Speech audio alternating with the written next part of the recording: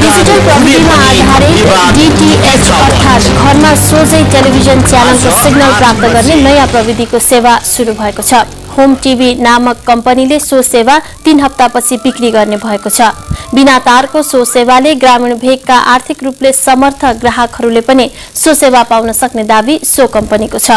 सरकारको स्वीकृति प्राप्त गरी सञ्चालन हुन लागेको सो सेवाका लागि आवश्यक अर्थ स्टेशन ललितपुरको भैँसेपाटीमा निर्माण अन्तिम चरणमा पुगेको छ। सूचना तथा संचार मन्त्री शंकर पोखरेलले सो हब स्टेशनको निरीक्षण गर्नुभयो।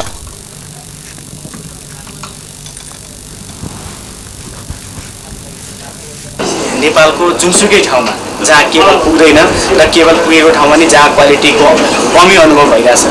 केबल युजरहरूलाई उनीहरूको लागि चाहिँ यो एकदमै राम्रो हुन्छ। र यसको फेसिलिटीको रूपमा चाहिँ चिल्ड्रेन गेम्सहरूदेखि लिएर भिडियो रेकर्डिङका फेसिलिटीहरू भयो।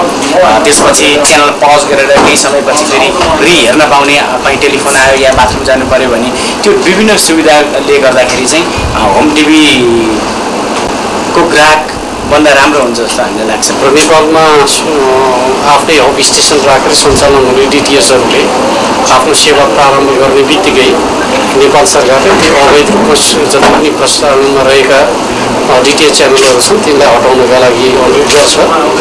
जसले हटाउँदैन उनीहरू चाहिँ स्वाभाविक रूपमा कानुनी प्रक्रियाभित्र कारवाहीको भागी बन्छन्। आदिवासी जनजाति